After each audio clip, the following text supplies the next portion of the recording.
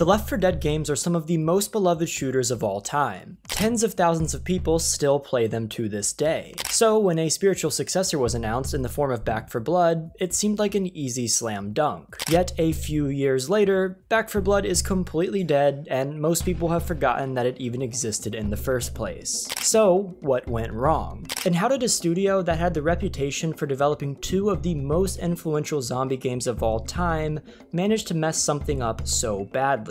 Well, to find out, we gotta start at the very beginning. Pretty much everyone knows the story of Left 4 Dead. The zombie shooter was released by Valve in 2008 to immense praise from fans and critics alike. The game's success prompted the release of a sequel so good that people, like me, are still talking about it today. But I bet you didn't know that it wasn't solely developed by Valve. Left 4 Dead is openly known as Valve's franchise, but they didn't make it alone. In fact, it actually started out as a passion project of a company called Turtle Rock Studios. They were were a tiny studio of six that Valve had contracted way back in 2003 to help with Counter-Strike. The companies formed a close bond when working together, so when Turtle Rock went looking for a publisher to help them support their newest prototype, called Left 4 Dead, Valve was happy to jump aboard the project. In the end, the bulk of the work was done by Turtle Rock, while Valve handled the marketing, funding, and much of the writing. But Valve knew early in development that Left 4 Dead was going to be a success. Beyond that, it was clear that there was some real talent and potential behind Turtle Rock. This prompted Valve to offer to buy the studio outright. For such a young team, this was the deal of a lifetime. One of the largest and most prestigious game companies in the world was offering to buy them out and fund and publish future projects. Very few game developers get that type of opportunity, so it was no surprise that Turtle Rock agreed. A year before Left 4 Dead's release, Turtle Rock Studios was purchased and renamed to Valve South. Left 4 Dead became a smash hit and marked the first major joint success between Valve and their new studio. And the future seemed bright, but just a few years later, things would change drastically, and this would lead to a series of events that would cause Back 4 Blood to eventually fail. Left 4 Dead was a near perfect game, so not long after its release, work began on Left 4 Dead 2. But this time, things were a bit different. Valve decided to take the lead on the project, and Turtle Rock had to give up some control. The game came out and was even better than the first one, but things weren't smooth sailing. Turtle Rock and Valve began butting heads and having creative differences. They weren't aligned on vision, and the relationship became strained due to constant disagreements. Their company culture was changing, they had less independence than before, and they didn't really know how to conform to Valve's way of doing things. In an interview, one of Turtle Rock's founders said the following The culture changed a lot when we became Valve, and not all of it was what we felt was the right way to go, and it wasn't the way that we wanted to work. So, in 2010, Turtle Rock and Valve parted ways. Valve would retain ownership for their Left 4 Dead IP, and Turtle Rock would have the freedom to work on new projects as long as they weren't Left 4 Dead related. They had their freedom, but their franchise was now in Valve's hands. With the Left 4 Dead series being one of the most popular game franchises of the early 2000s, there was still room for it to expand. Pretty much everyone expected Valve to announce at least one more sequel. Yet to fans' surprise, no news came. With the original developers behind the franchise gone and two solid games released, Valve seemed shockingly disinterested in the series. They released a few DLC, but from 2012 onwards, they seemed to move away from Left 4 Dead. From their perspective, there wasn't much reason to make a sequel. Left 4 Dead 2 still had a vibrant player base that was creating its own content via the Steam Workshop.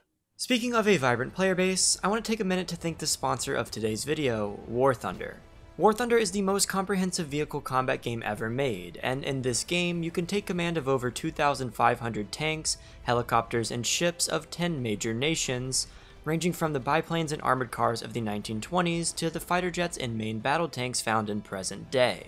I'm telling you, this game is extremely cool, and the in-depth customization system really helps you to tailor your vehicles to how you want them to be, with a ton of camouflages, historical markings, and decorations for all types of vehicles. Plus, the game is super immersive with realistic graphics, incredible and authentic sounds, and of course, the insane attention to historically accurate detail with the vehicles.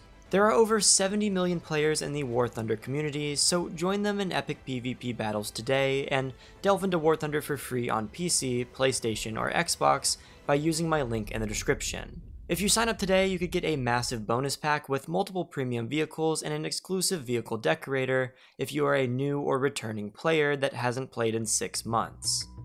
Furthermore, Valve's principles as a game publisher made it rare for them to produce sequels. They tried to avoid milking series or making underwhelming games that don't add anything to the franchise. That leads to them having high quality releases, but it also means content for their existing franchises is slow to develop. In fact, Valve's slow pace with making content for Left 4 Dead was a major reason for their falling out with Turtle Rock Studios. Despite all that, fans still clung to the hope that Left 4 Dead 3 might someday be announced. Every once in a while, rumors would float that Left 4 Dead 3 was on the brink of a release, but Valve was quick to shut these down. In fact, in early 2020, they put out a statement clarifying that they are absolutely not developing another Left 4 Dead. That same year, Valve would release the first major update that Left 4 Dead 2 had gotten in years, giving the game a brand new campaign. The update was bittersweet. On one hand, it was exciting that after all these years, fans were finally getting new content of this scale. On the other hand, it seemed to be a signal that the company saw a sequel as unnecessary. New content was likely limited to occasional updates and mods. There was no hope for Left 4 Dead 3. Well, until Turtle Rock Studios returned. In the years since they left Valve, Turtle Rock had struggled. They'd only released one game, Evolve, which was widely considered a disappointment. The company was directionless and broke. The desperation of their current situation led them to chase nostalgia for their earlier days with Left 4 Dead. So they started designing a new zombie shooter that would scratch the Left 4 Dead 3 itch that fans had for nearly 10 years. And this new game would be a way for Turtle Rock to reinvent the zombie shooter genre and be back on top as the king of zombie games. Enter Back 4 Blood. Back 4 Blood was announced during the Game Awards in 2020, and they made it pretty obvious that this was a non-Valve Left 4 Dead 3 alternative. I mean, everything from the structure of the title with the number 4 in it, to Easter eggs in the reveal trailer, to even the presentation of the gameplay itself was unapologetically Left 4 Dead. I mean, look at these doors and the safe room. It looks identical to what you see in Left 4 Dead 2. It shared the main premise, four survivors gunning their way through a zombie apocalypse, and of course, the main developers, Turtle Rock Studios. The marketing made it very clear that Back 4 Blood was supposed to be a bigger and better version of Left 4 Dead. It's obvious why Turtle Rock Studios leaned into this idea.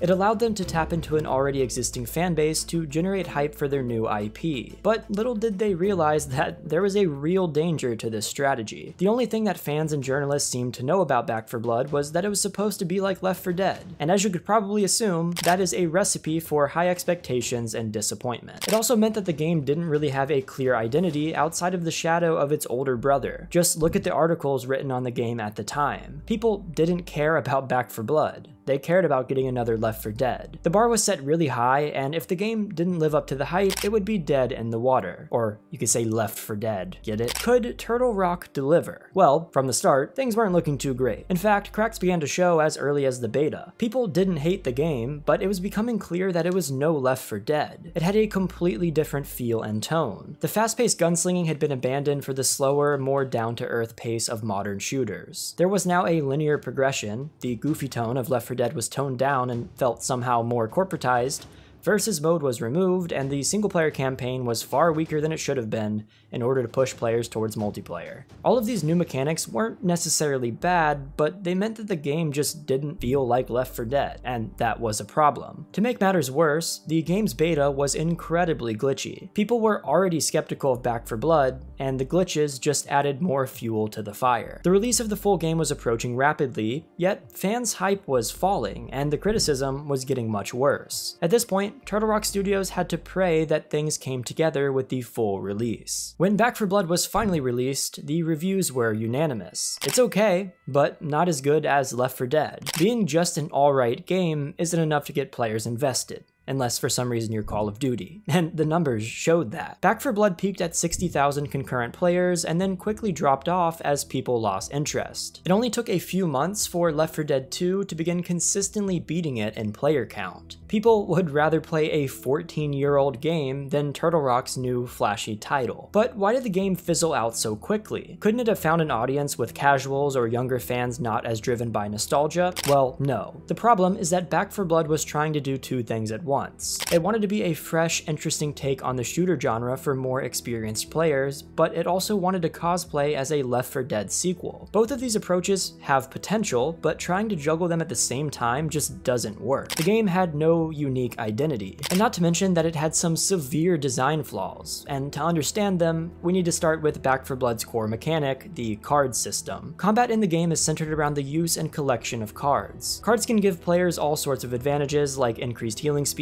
increased damage, or an extra life. You start with a set number of starter cards to make a basic deck. However, as you complete missions and gain supply points, you can buy more powerful and interesting cards. Strategy in Back 4 Blood revolved around collecting cards and combining them to make cohesive and powerful decks. This system is easily the best and worst part of Back 4 Blood. On one hand, the game had almost infinite depth. A player who mastered this system could be on a totally different level than a beginner. It also allowed players to customize their experience. However, it was also fairly complex and didn't seem to fit the rest of the game. This card system would make sense and an RPG or a roguelike, but not a simple run and gun shooter. The focus on customization, linear progression, and creating optimal builds made Back 4 Blood a totally different experience than Left 4 Dead. That's not only a problem because it makes the games different, it's an issue because the rest of Back 4 Blood isn't built to accommodate this card system. RPGs have very intentional campaigns and tutorials built to teach you their mechanics. Similarly, roguelikes early level design are dedicated to teaching the player how to use their abilities. Back 4 Blood doesn't do anything anything like this. Players could play the game for a week straight and still not understand the card system. Plus, even when players do master it, the game just becomes extremely easy. Enemies that would be fun in a shooter feel overly simplistic and uninspired in an RPG. At the start of every mission, the enemies get to draw their own cards and get stat boosts, and this does add some flavor to the combat, but it's pretty much the only way that they interact with the card system. So in short, this entire card system was a weird combination of things that didn't quite fit together, and it kind of felt like an unnecessary unnecessary gimmick just to make the game seem a little more interesting. So I mentioned how the game would get easy if you had the right builds, but I need to dive into the difficulty of this game in general.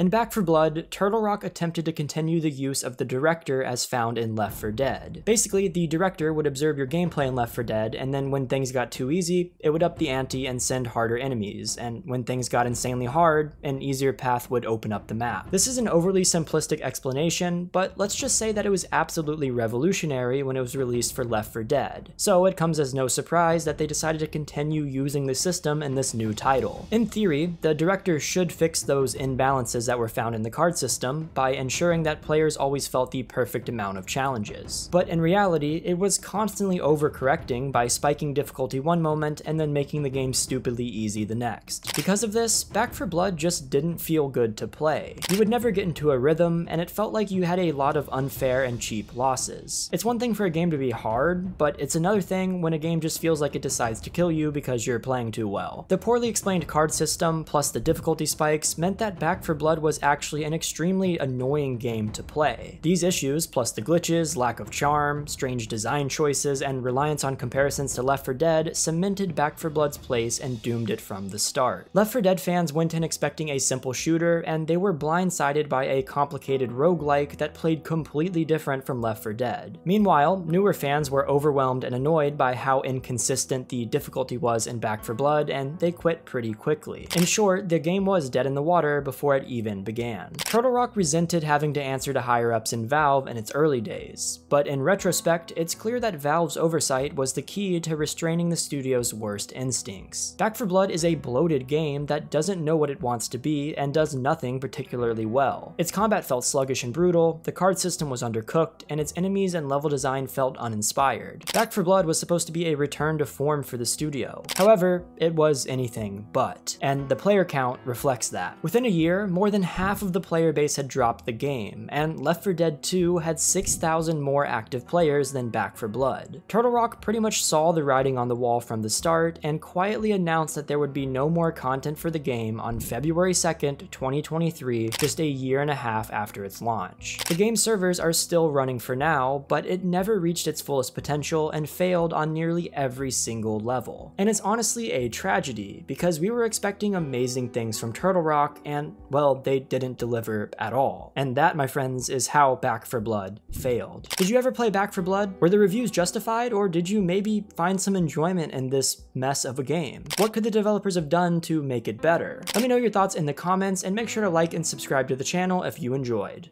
Also, thank you one more time to War Thunder for sponsoring this video. Don't forget to play it for free on PC, PlayStation, or Xbox now by using my link in the pinned comment or video description. Plus, if you sign up today, you can get access to that free bonus pack. I will see you guys next time, and peace.